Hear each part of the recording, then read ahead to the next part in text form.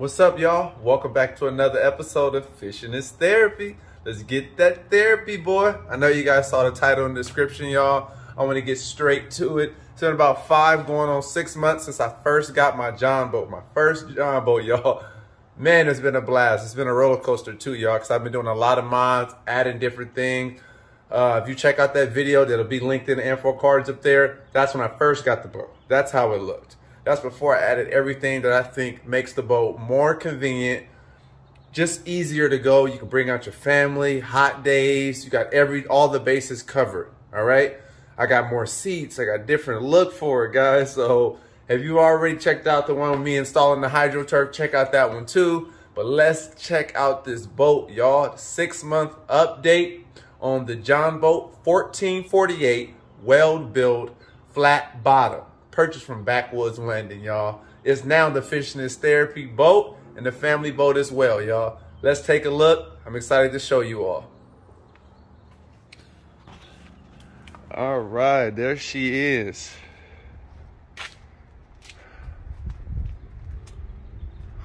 All right, we're gonna start with a few additions. So what I did, all right, coming from the beginning is I knew that what I wanted, right? I knew I wanted a uh, anchor in the front of the boat, all right, in the bow. I knew that. But I went and upgraded. Look, I got actually two anchors in here. two anchors.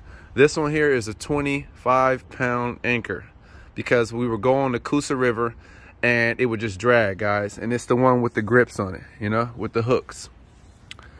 All right. And I have the other one just to add extra weight in the front. Why? To make me plane out faster and I went ahead and added the rod holders in the front. Why? Because whoever's sitting up in the front, they can have their fishing rods here so they don't have to lay them all on the boat. And, you know, people, if you see other boats, that's what happens, guys. I noticed that and I wanted just more convenience there. All right. I, I mean, you guys can't overlook, look, the HydroTurf. I added that, guys. It's early spring right now. It's not officially spring. I even put some on my, uh, on my foot pedal right there. But I put the HydroTurf all throughout the boat on my hatches, on my floor, and that's a tread plate floor, okay? That was a tread plate with HydroTurf installed on it, and this is duck camo, duck camo, all right? Put that through all out the boat, on the hatches, on the sides. Look at that. Man, it turned out so well, guys, and that's with 3M backing, okay? Don't mess with the with the uh, don't mess with the glue if you can help it because it's so much better without the glue. All right. Hold on one second. Yeah, guys. So, but go ahead with the 3M backing. It's the best. It makes it so much easier to install. All right. But I went ahead and added, when I first had this, I did not have a pedestal seat um, for the front. I went ahead and purchased another Millennium seat. All right. I only had two. Went ahead with the 11 inch base and this is just the one that you drop in. It's not the one that you screw, all right? Screws come in, and installed with the Millennium boat seat. This is the best seats I ever had, ever set on. Look at the mesh, it's sturdy, man. Holds over 250 pounds easy, sturdy. I added that in here, 11 inches above. Works out great. I didn't bolt down my um, pedal, pedal yet because I can move it when I turn to this side, right? When the seat is turned there, I can move it there. You see, you can move it around. And now since I had the HydroTurf, it's non-skid. It won't even move if I set it there, all right? I'm still rolling with the uh, 45 pound Minn Kota Edge trolling motor. I got that dropped down just because I was installing the turf. All right, and this is one of my newest additions. I don't know how it'll turn out just yet, but I got a Bimini top. I got it, guys. Yep, finally got it. It's a uh, six foot uh, 46 inch high Bimini top. Bought from Amazon. I can drop the link in the description for you guys for that. You know how I do. I drop my descriptions, my links for everything. So we got that Bimini top install. I'm yet to try it out and see how it works. I think I probably would have wanted it a little bit further back right there, you see? But the good thing, I got the one with the adjustable strap, so I'll be able to tilt it back if need be, all right? Another one I needed, rod holders. The Cannon rod holders. So I was able to get those. I got for each side for trolling.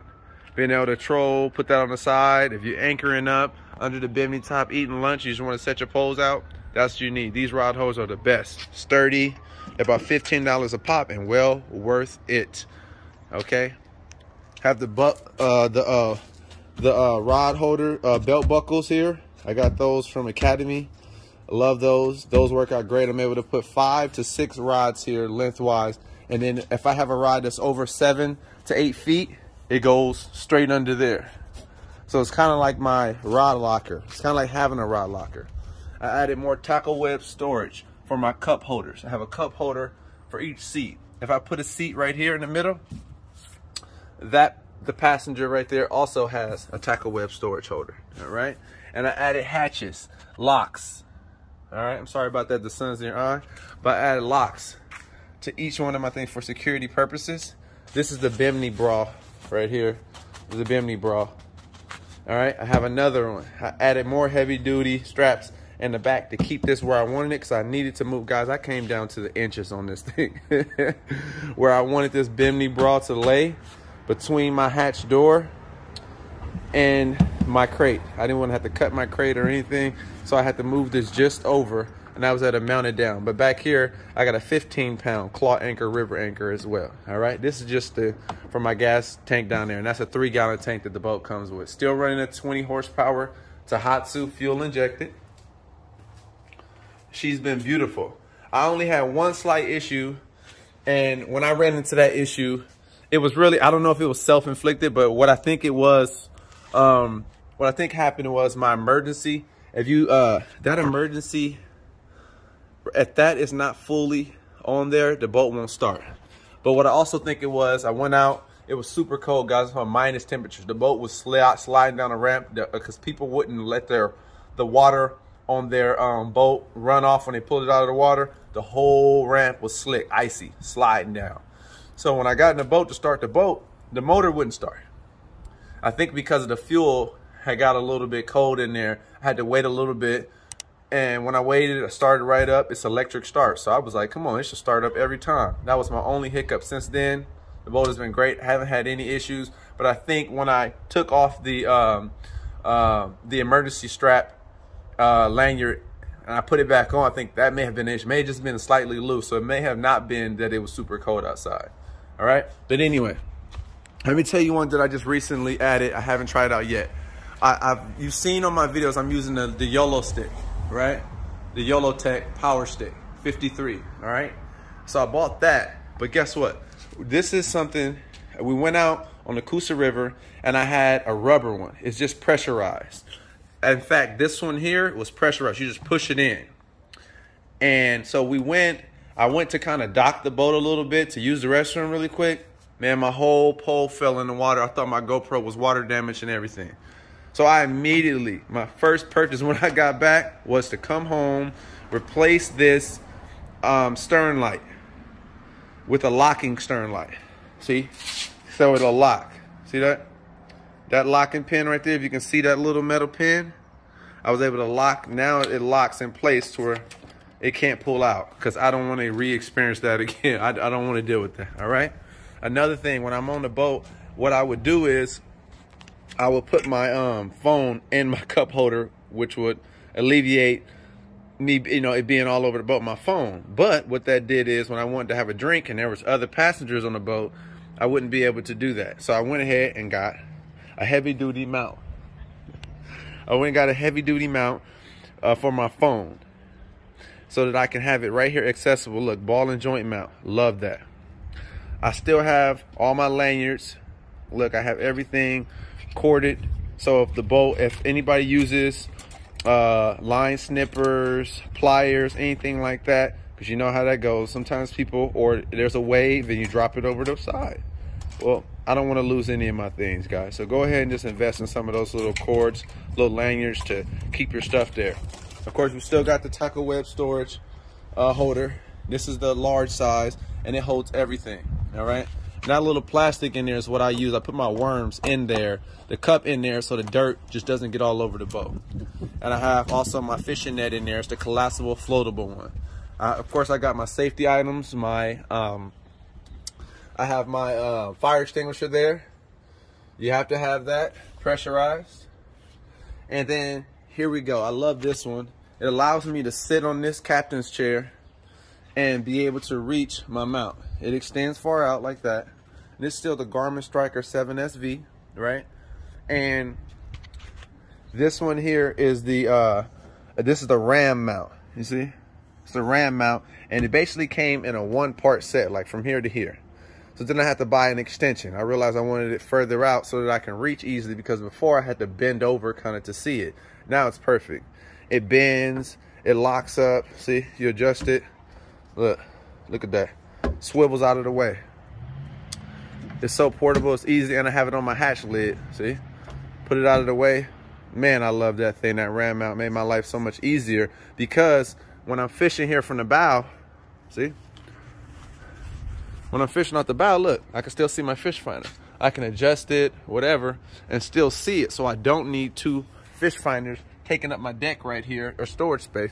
I can have that space for myself or I want to put a little bucket here or a cooler or whatever if I'm just fishing from the front primarily. So guys, these are my mods. I really, really like them all. I love how I can swivel that thing around and keep everything going. We'll see how the Bimini works.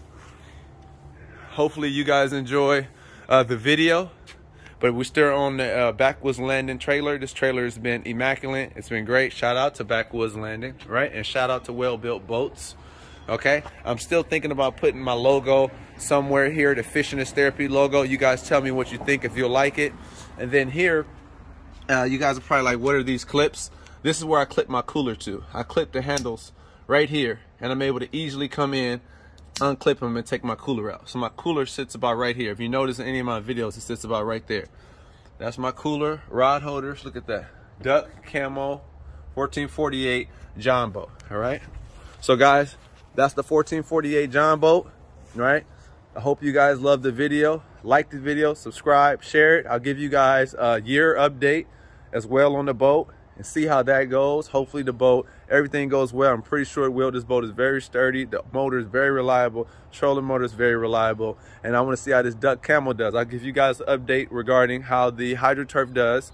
Just remind me if I don't get to it sooner than later. But after the summer, I definitely want to do an update and just let you know how it's holding out. All right, guys? But thanks for staying tuned. It's been great. I, I've been modifying this boat. So right now, at this point, I'm officially complete with all the mods that I actually wanted for the boat, guys. So thanks for staying tuned to another episode of Fishing is Therapy, y'all.